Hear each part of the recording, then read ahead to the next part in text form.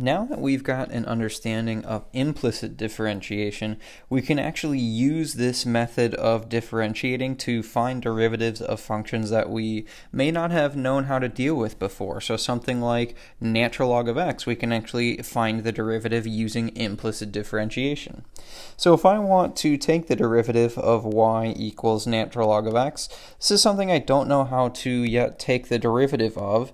So what I'm going to do is I'm going to rewrite this equation in its exponential form. So remember that every logarithmic equation has an equivalent exponential equation. So I can rewrite, rewrite this as an exponential equation. It would look like e to the y power equals x if I rewrite that using its exponential form. So okay, I've, I've rewritten it in, in, its exponential form, but I have not yet taken the derivative. So let's go ahead and do that. So I'm going to take the derivative of this whole equation. When I take the derivative of e to the y, here's where I'm going to have to use my implicit differentiation, remembering that y is a function of x, so I'm really using the chain rule. So the derivative of e to the y, well, that's just e to the y times the derivative of that inside part of my function times the derivative of y. Let's just call that y prime for right now. Equals taking the derivative of x, this part should be a little bit easier. Derivative of x will just be 1. So okay, what, let's think about what we're trying to do. We're trying to find the derivative of y equals natural log of x. So in other words, I'm trying to find y prime. I'm just trying to find y prime. So let's just see if we can't solve this equation for y prime. So I'll divide both sides by e to the y, and that'll leave me with y prime equals 1 over e to the y.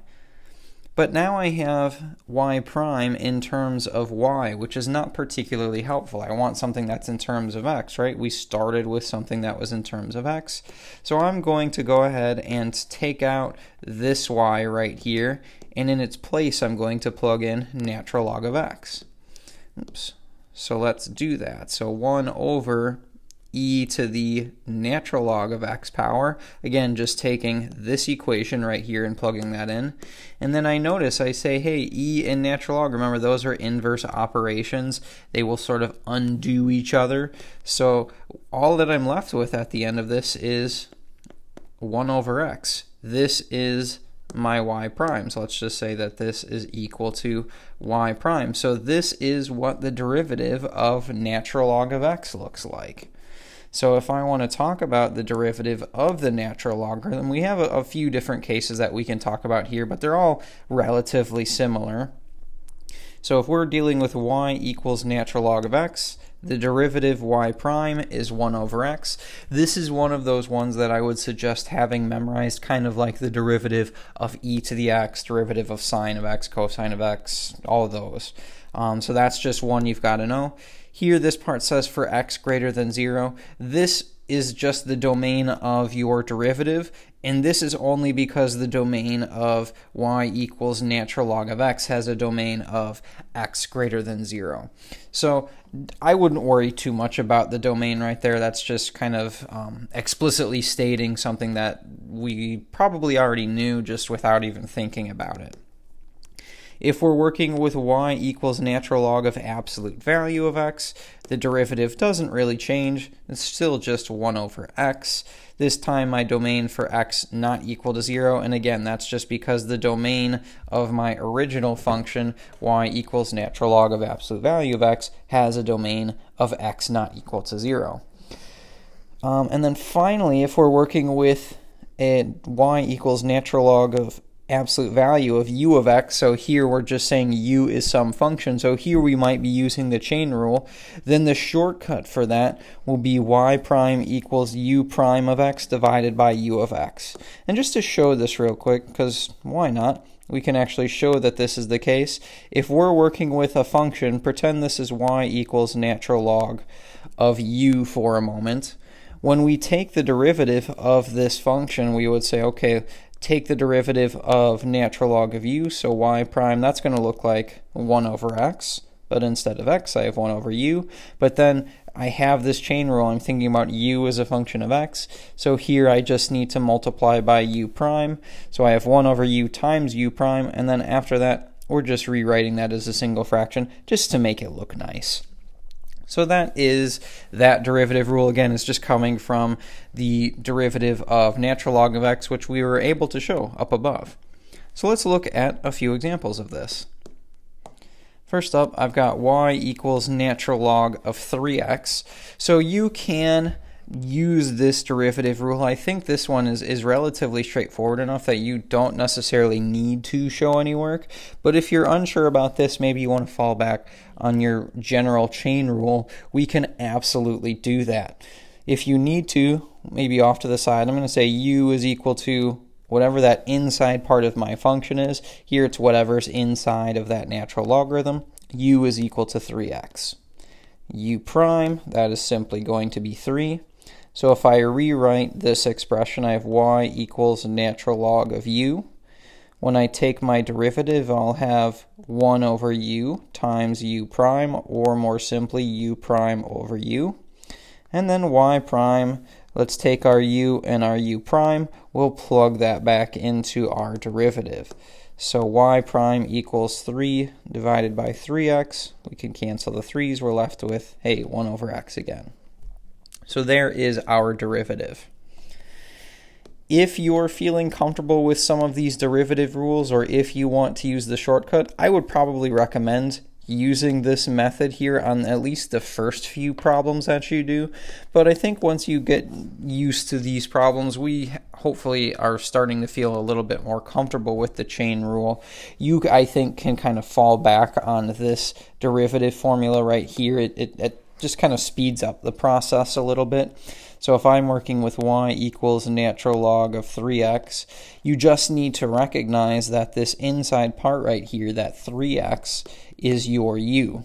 So y prime, derivative of my inside part, 3x, will just be 3 divided by that same u, that same function, right? So here's u, u also appears in the denominator of my function. So 3 divided by 3x, and then again, of course, we can simplify that to be 1 over x. So we'll get the same solution either way. Obviously, this way is, is a little bit quicker, but I do think it's worth it to take your time with the first few problems um, and just get used to using that chain rule just so that we can kind of see where it comes from um, because I think that's really going to help your understanding of the derivative of natural log of x. Let's look at a few more here. Next up, I have y equals x squared times natural log of x. And again, if, if you're unsure about what derivative rule to use, read this out loud to yourself. This says y equals x squared times natural log of x. I'm multiplying these two functions. So this is going to be a product rule. And actually, let's go back and just label the, this previous example, this was a chain rule, just in case you want to look back and decide what rule we're using. But here we're using a product rule. So you can call this guy f, you can call this part g, um, and then take the derivative using your product rule. So let's just hop right in. I think this one's relatively straightforward. y prime. So I'm going to start by taking the derivative of x squared. So the derivative of x squared, that is 2x, times I'll leave natural log of x alone, so times g, so 2x times natural log of x, plus now I'll leave x squared alone, so that will be x squared times the derivative of g times the derivative of natural log of x. Well, we said earlier that the derivative of natural log of x, that is 1 over x. So x squared times 1 over x. Here we can do a little bit of simplifying with this second term. We can say that this is 2x times natural log of x plus x. You could leave your answer like that. If you want to get some practice factoring, because of course we will be working with these derivatives a little bit more algebraically, you could factor out an x from these two terms, and that would look like x times 2 natural log of x plus 1 if you wanted to factor. Again, you're not required to factor by any means, but I do think whenever we have a chance to practice our factoring, it's probably a good idea to do so because, again, we will be working with these derivatives later on um, uh, more frequently in Chapter 4, and the factored version of that derivative is going to be much easier to use than the unfactored version um, for the types of problems that we'll be doing. Let's look at just a couple more here. Next up, I've got y equals natural log of absolute value of tangent of x. Again, one thing I'll say, don't worry too much about these absolute value here. Um, it's not going to dramatically impact the derivative of natural log of x. Um, we can actually go back and look if you want to. You can actually look and see, hey, the derivative of natural log of absolute value of u, which is this is what we're looking at here. It's just u prime over u. It's not changing the derivative of natural log of x uh, in a very dramatic way. So again, it's up to you how you would like to do it. If you would like to use the chain rule here, the chain rule I would pick my u to be tangent of x, so u would be tangent of x. u prime, the derivative of tangent of x, is secant squared x. So we would rewrite this in terms of u. So y equals natural log absolute value of u.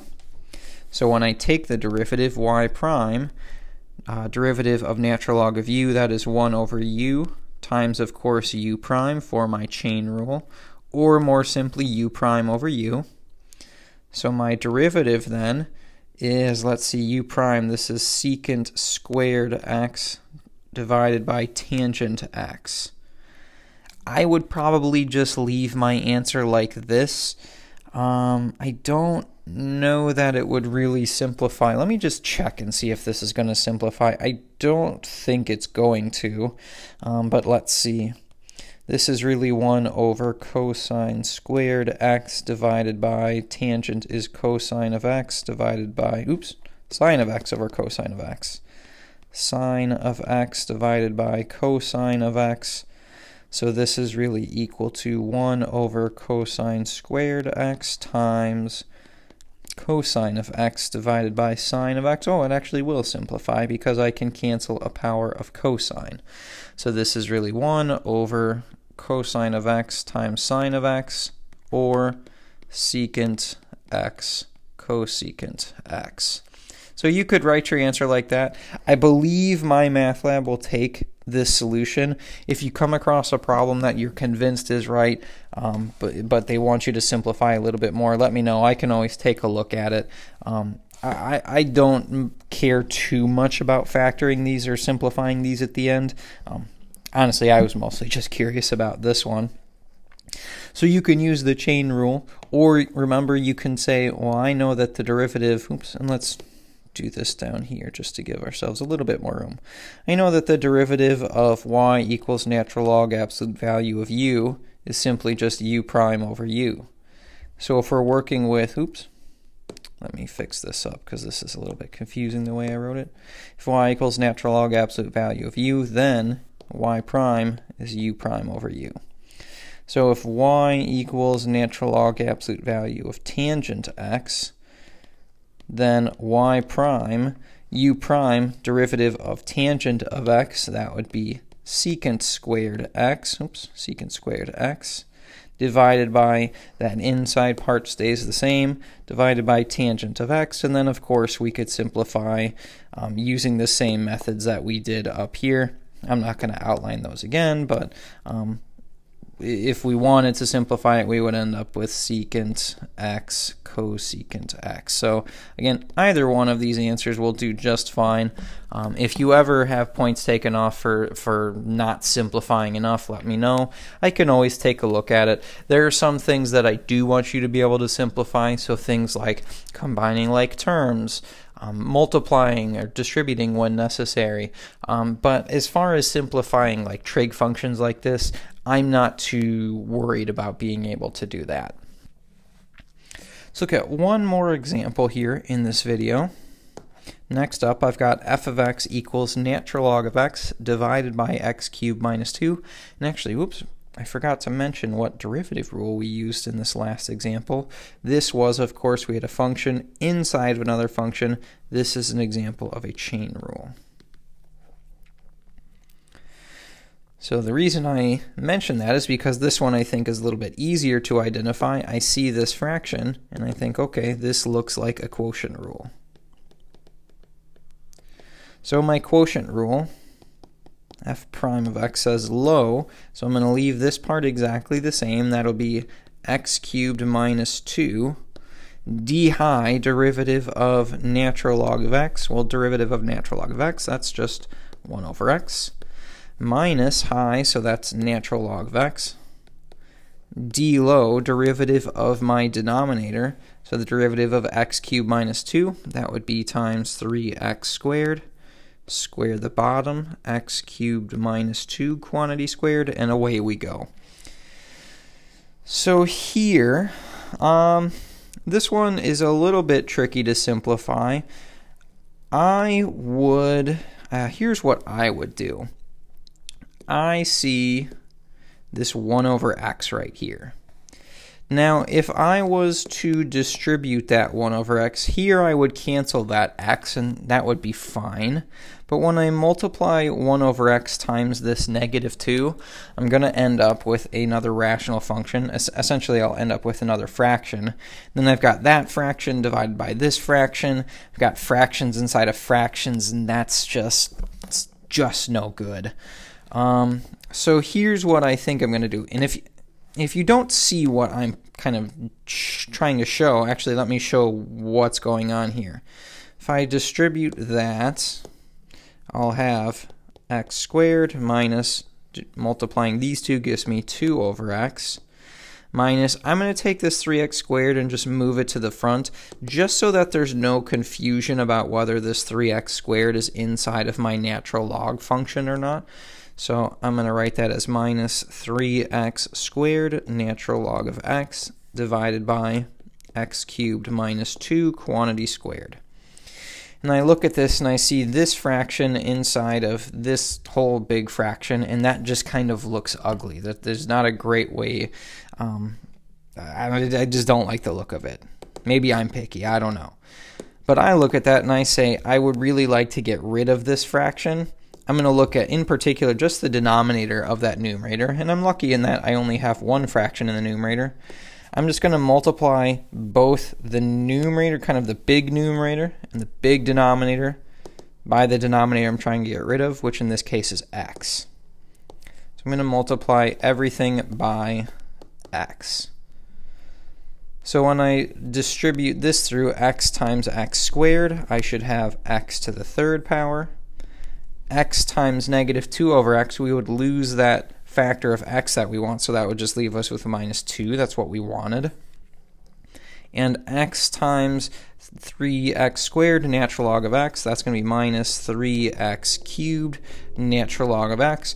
Remember that this x right here is inside of your natural log function, so we're not going to multiply it. Nothing we do is really going to change that inside part of our function right there. Um, and then in our denominator, I'm just going to essentially just leave it like that. Maybe I'll bump the x up to the front just because we normally write monomials in the front. Um, but I would write that as x divided by x cubed minus 2 quantity squared. And I would say, all right, there's my derivative. So definitely get some practice in with the derivative of a natural log of x. It's one that I would say, yes, I think you do have to have it memorized. Um, but the, the, the formula for it I don't think is too difficult to remember. Um, I would just get some practice in just so that we're comfortable with it because we will be using it quite a bit in this section.